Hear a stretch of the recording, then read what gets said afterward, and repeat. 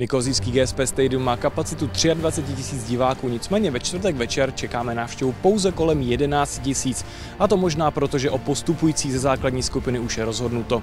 Spartané se stadion vyzkoušeli jako tradičně na středečním předzápasovém tréninku, tak se pojďte společně s námi podívat, jak to vlastně v Nikozii vypadá.